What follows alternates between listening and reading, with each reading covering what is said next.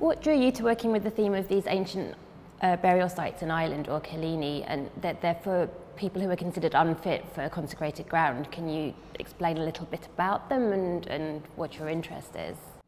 My interest began in, in cilliní when I read an article by Anne Enright. It was called Antigone in Galway, it was a couple of years ago.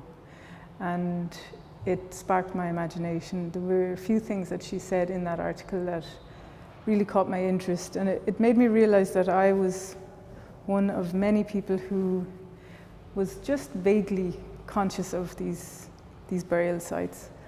Um, uh, but she mentioned that not only unbaptized babies would be buried there, uh, they were considered unfit for consecrated ground. So um, the Catholic Church had deemed this. And so if a baby was stillborn or died shortly after birth and hadn't been baptized, it would be taken to this uh, unconsecrated graveyard.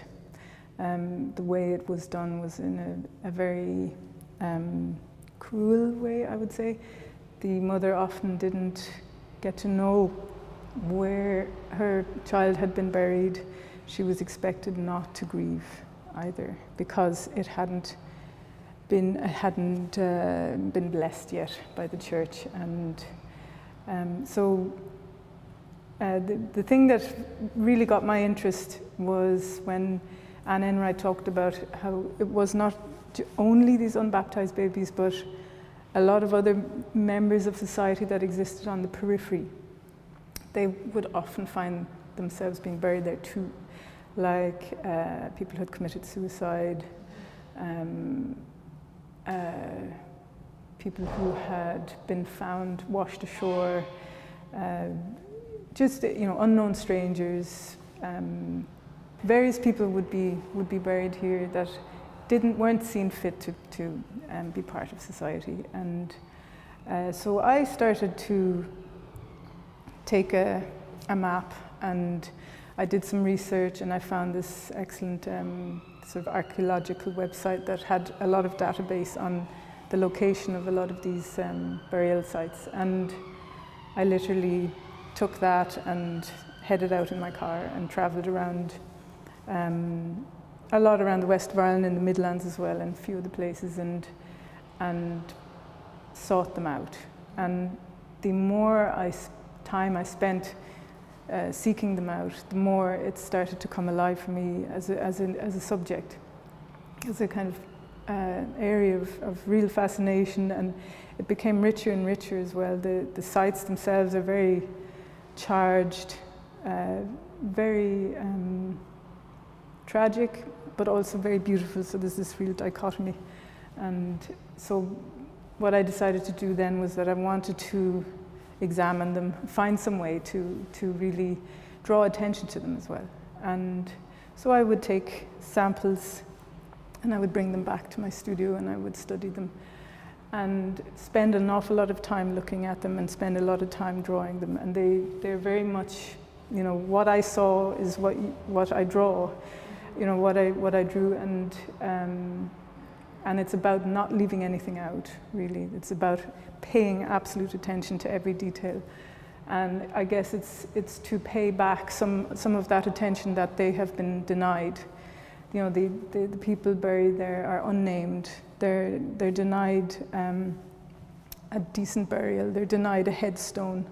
There, there, there are stones to mark where they're buried but there is no, no other marker and there's, there's no way of identifying people that are there and even, you know, what age, what gender, what their story is. Their, um, so it is really about, yeah, giving some of that attention back to them, um, allowing uh, myself as well to contemplate this, you know, this, this phenomenon. And whenever I, you know, I spend a time on a drawing like this, I'm, you know, it's hours and there's a lot of space for contemplation.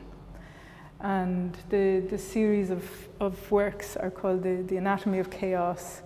Um, it, it came from my, my attempt at drawing this very organic, very chaotic mass of dirt and grass and, and and I found my own sort of uh, eye to hand communication was, I was losing grasp of it, you know, because it was so complex. And, and I began to think about how, you know, how chaos can be used as a strategy.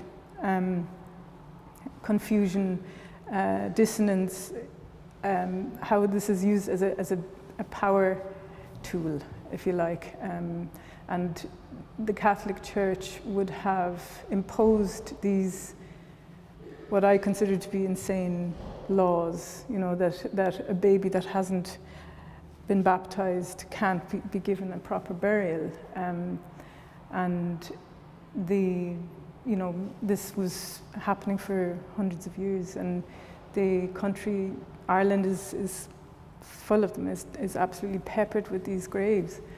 Um, and I think that when you when you create this dissonance in a person, you know, on the one hand, of course, it's, it's a parent. It's the instinct is to hold this this and, and take care of it, but they, they're forced to cast it out in the in the night and um, and and give it no proper space and no no identity and deny it all of this. And and then and then this kind of theology that, that they're in limbo, you know, that that's where they are, and uh, there's no rest, you know, there's no rest for the parents, there's no rest for the, the women, the mothers, and and then also there's relatives, you know, the, the other kinds of people that would have been buried there too, you know, they, they're, they're all denied this, this um, dignity, I guess.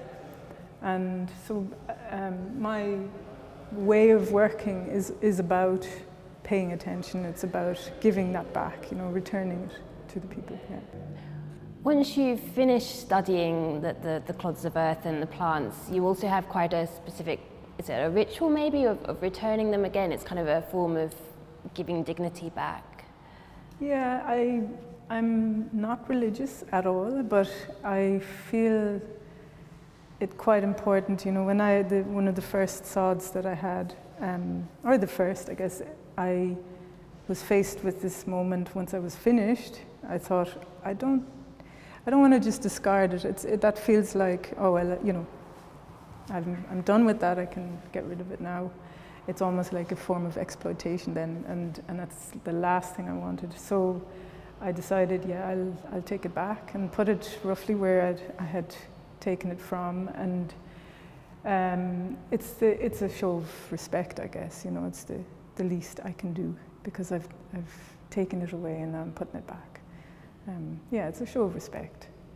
And the works themselves are a form of remembrance of that unknown person. Yeah, I, um, absolutely. I would, when I'm drawing the grass, when I'm drawing the, the roots, I see hair, I see veins, I see, I see the people that, that fed that land and um, not in a morbid way. I just, I just feel like that, that's, and not in a real way. It's just, a, it's in my imagination and um, there's something, yeah, it is, it's about honoring that, you know, and, and really they are the forgotten in, of Ireland and this kind of this suppressed uh, history, um, you know, Irish society hasn't really faced up to that past and it has fed into other um, problems that have, you know, have, have happened since. And I think it's time that you know we, we dealt with it. You know, it's it's um, part of the history. It's part of this legacy of the the Catholic um, hold that it's had over you know the Church's hold over Ireland. And um, yeah, it's time to talk about it. I think. So you're actually here as part of a four-woman show called Protest and Remembrance. So is there, I mean, obviously there's a remembrance element. Is there also a quiet protest element? Absolutely. Um, I think it's, uh, I have, I have a certain amount of rage, you know, that I carry in, inside me when I, uh, when I go and visit these places and they're so lonely, they're so, you know, set so far away from anyone and, and it's this willful desire to forget these people. You know, it's absolutely designed to forget them. And uh, the organic nature of how they're buried, you know, it just speeds it up. It speeds up that melting into the ground and, and so that they're forgotten about then, you know, we don't want to deal with that. And I mean, it's a very, it's a very difficult subject to work with because it's sensitive and there are still people who remember, you know, there are still people, um, they say up to the 80s, it was, you know, there were burials taking place still. And um, so how do you talk about something that's, you know, people that are voiceless, nameless, and, and sites that are almost invisible. So, um, yeah. But the more I look at them, the more I find them, the louder they get. You know? And I see the connections. I see how this is connecting up with the mother and baby homes. Um, you, I don't know if you've heard about the Tuam scandal. They found uh, they found a mass grave of, of babies or young and young children uh, at a mother and baby home that was where they kept young women who had fallen pregnant out of wedlock. And their sort of, I guess, punishment or atonement was to, to remain in these homes for an indefinite amount of time. And the, the children that were born sometimes or quite often died, and, and they were discarded in a septic tank and so that's the next, you know, this is like the precursor to that. Um, yeah, I see connections, and I, I, think that it's, it's because these things aren't um, dealt with properly and faced, and, you know, have to take, take responsibility for this, you know.